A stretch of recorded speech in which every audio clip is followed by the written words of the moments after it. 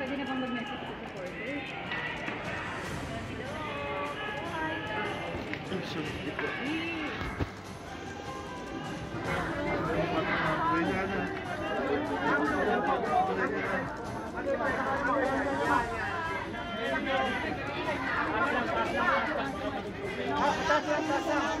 在，对，你看这边看吗？你这。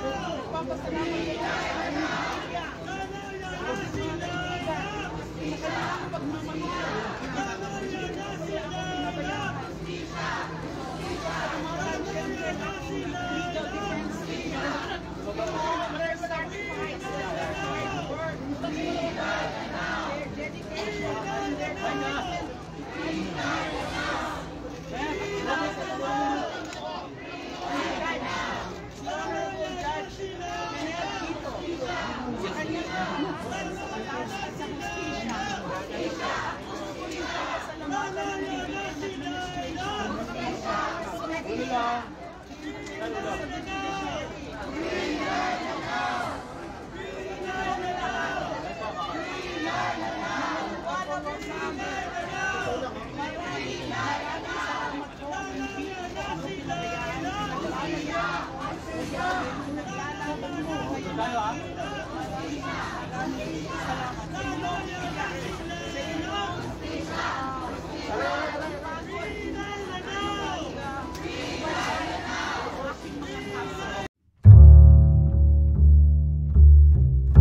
Pinag-uusapan na umano ngayon ng kampo ni dating Senador Leila de Lima ang pagsasampa ng mga kasong kriminal laban kay dating Pangulong Rodrigo Duterte upang mabigyan ng hustisya ang mahigit anim na taon niyang pagkakabilanggo.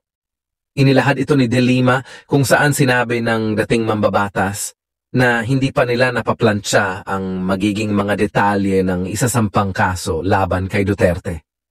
Seryoso talaga pinag-uusapan namin yan sa legal team. Napakalaking option yan na gagawin namin because a few said it's really about justice. Kailangan mo pa rin na makamit yung hustisya kasi yung iniisip ko nga, kung wala akong gagawin, what will prevail in the future? Nais panagutin ni De Lima si Duterte upang hindi na aniya tularan pa ito ng mga susunod na lider ng bansa na ginagamit ang batas upang gantihan ang kanilang mga kritiko. National Department of Justice ang manoy plano ni dating Senador Lena de Lima na sampahan ng kaso sina dating Pangulong Rodrigo Duterte at dating Justice Secretary Vitaliano Aguirre III. Ngayon man ay sinabi ni Justice Secretary Crispin Remulla na karapatan nino man ang maghain ng kaso laban sa sinumang personalidad. Maguwid ang pansamantalang nakalaya si de Lima matapos naghain ng piyansa para sa kanyang kaso kaugnay sa transaksyon ng illegal na drogas sa New Bilibid Prison. Samantala, sinabi ng dating senadora na hindi pa niya napatawad ang dating Pangulo dahil sa, dahil sa nangyari sa kanya. Ano po ang opinion niyo dito? Ano namang ipapile? Ano namang kinalaman ng dating Presidente Duterte doon? Eh, ang nag-file niya ng DOJ. At uh, on the basis of the complaint ng DOJ, eh, nagkaroon ng preliminary investigation. Doon sa PI, napatunayan na may probable cause. Binigyan naman sila ng pagkakataon doon.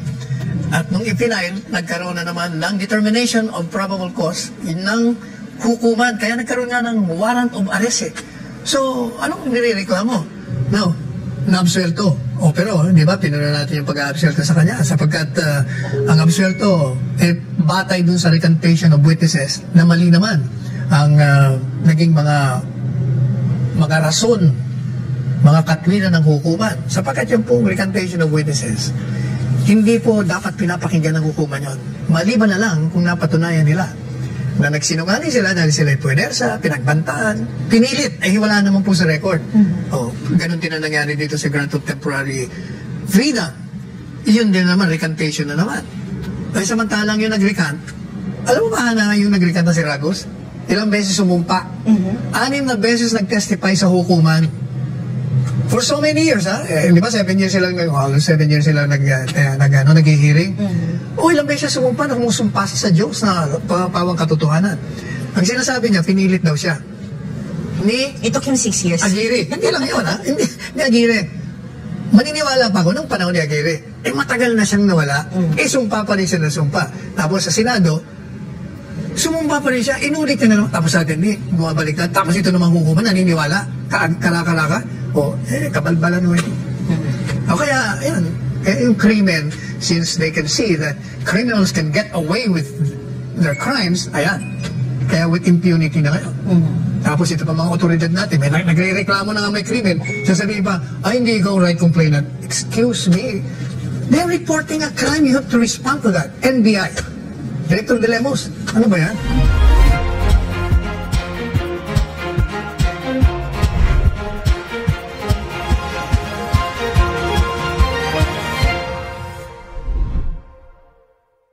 Talaga namang bulag kayo at bingi kung hindi nyo alam na pinakamalaking balita ngayon ay ang paglaya ni Leila de Lima dahil pinayagan na siya magpiyansa ng ating West. Talaga naman pong karapatan ng mamamayan na magkapiyansa pag siya ay nasasakdal no? dahil hindi pa naman siya napapatunayang nagkasala at meron tayong tinatawag na presumption of innocence. Pero ang exception doon sa karapatan na magpiyansa ay kung ang ebidensya laban sa kanya at ang krimen na isang heinous crime ay malakas pag malakas po ang ebidensya, walang karapatan na magpiyansa. Sang-ayon sa ating hukom, eh hindi na po malakas ang ebidensya laban kay Leila de Lima para sa malawakang pangangalakal ng pinagbabawal na droga doon po sa loob ng Muntinlupa. Nang nawala na si Presidente Duterte, isa-isang bumaliktad ang mga testigo laban kay Leila de Lima. Ako siguro ang pinakaunang nakarinig ng testimonya nitong si Ragos. Siya po yung dating Deputy Director ng NBI, isang ahensya na sa ilalim ng Department of Justice sa panahon na kalihim sekretaryo si Leila de Lima ng DOJ. Nasindak ako. Ang sinabi niya sa akin at ako isa sa pinakaunang nakarinig, dalawang beses siya nagdala ng pera, kung di nagkakamali, limang milyon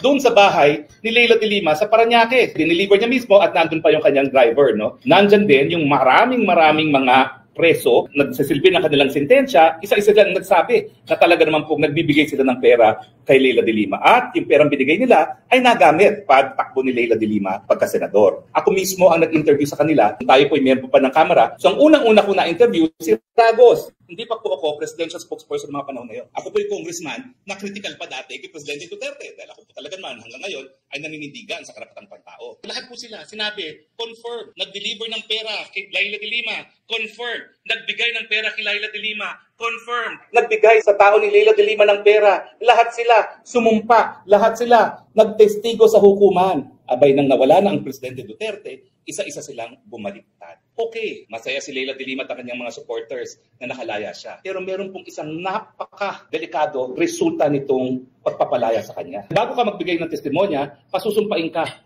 na ang sasabihin mo ay pawang mga katotohanan lamang at merong isang batas na nagpapataw ng parusa pag ikay magsisinungaling sa hukuman. Parang napakadali dun sa mga testigo na nag-iba ng kanilang testimonya. Bakit parang wala ng takot itong mga testigong ito na mapanagot dahil sa kanilang pagsisinungaling sa hukuman. So ang implikasyon nitong desisyon nito, ah, okay pala na magsinungaling sa hukuman. Pag ikay nagsinungaling, hindi ka naman parurusahan. Hindi po eh. Kaya nga po sigurado yung pagtestimonya sa hukuman, nakasalalay dyan yung desisyon ng hukom. Nakasalalay dyan sa isang criminal case kung guilty or not guilty. Eh ano na lang mangyayari kung ang mga testigo ay hahayaan nating lantaran na magsinungaling. Eh di hindi na natin alam kung anong katotohanan at hindi na natin mabibigyan ng katarungan yung mga biktima ng katarungan. Nung minsan, narinig ko siya sa Europa at tinatanong siya tungkol sa mga patayan na nangyayari sa gobyerno ni Noynoy Aquino. Nagkaroon siya ng amnesia kung anong obligasyon ng Estado pagdating sa karapatan ng mga biktima ng patayan na kinakailangan bigyan sila ng mabilisang remedyo sa domestic na batas. Dinidinay niya yung paglabag sa ng karapatang pantao. Yan ang hindi ko siya makatawad. Samantalang as Justice Secretary, po pwedeng siya mismo ang nagbigay solusyon para po maprotektahan ang karapatang pantao. O ngayon, nagbayad siya dahil sa kanyang kakulangan na magbigay ng reforma sa ating sistema ng katarungan. O di ba napakatagal ng anim na taon para ang isang taong walang salay makulong? Bakit? dahil binigyan siya ng pagkakataon bilang CHR chairman, bilang kalihim ng Secretary ng Department of Justice para baguhin, reformahin ang criminal justice system. Wala siyang ginawa. Pinagbayaran niya ang kanyang kakulangan na reformahin ang sistema. Ako po sa mulat-mula, naninindigan na yung sistema na pinapatupad nung nandyan po mga Espanyol, inquisitorial system, kinakailangan natin ibalik. Hindi po katanggap-tanggap na napakatagal ng paglilitis sa ating lipunan. Aba yung Maguindanao Massacre na pati mga sasakyan ng tao, pati yung mga ginamit na bako, eh lilibing, eh sampung taon na litis. Justice delayed is justice denied. Kapag sa inquisitorial system po, judge na kumukuha ng ebidensya. Ang trabaho ng mga abogado, ibigay ang ebidensyang hinihingi ng West. E sistema pong meron tayo, yan po ay tawag adversarial. Yan po ay dinala ng mga Amerikano rito. At bakit adversarial ang tawag? Kasi mga abogado mag-o-offer ng evidence. Stricto po ang rules ng evidence dyan kasi ang maghuhusga ay hindi mga bihasa sa batas.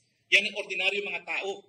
Jurors ang tawag. Kaya po napaka-formal ang proceeding at kaya po napakatagal ng proceedings. Eh dito naman po sa Pilipinas wala tayong jury. Mga bihasa sa batas ang lahat ng West. So ang dapat po, ibalik natin yung inquisitorial at nakita ko po minsan yan sa isang paglilitis sa Switzerland. Tapos po ang hearing isang araw lamang. Dapat ganun po kabilis. Dahil kung walang pagkakasala, dapat isang araw lang ay makalaya na ang nasasaktan. Ngayon, nakatikim siya ng anim na taon na pagkakakulong. Siguro naman ngayon, gagawin na rin ng advokasya itong pagreforma sa ating sistema ng katarungan. Kinakailangan po bumalik sa inquisitorial system. Tanungin niyo ang mga sarili ninyo. Mas nagtitiwala ba ka ngayon sa isang sistema na ang mga testigo hindi na matatakot ngayon na magsinungaling? Dahil wala namang mangyayari sa kanila pag sila ay nagsinungaling. Hindi ko po sinasabi na mali ang desisyon, ha? Rinirespeto ko po yung desisyon na yan. Pero yan po talaga ang implikasyon dahil aminin man o hindi, yung desisyon na mahina ang ebidensya ay dahil din sa napakadami mga testigong bumalik. Sana gaya ko po, sana po kayo ay nababahala.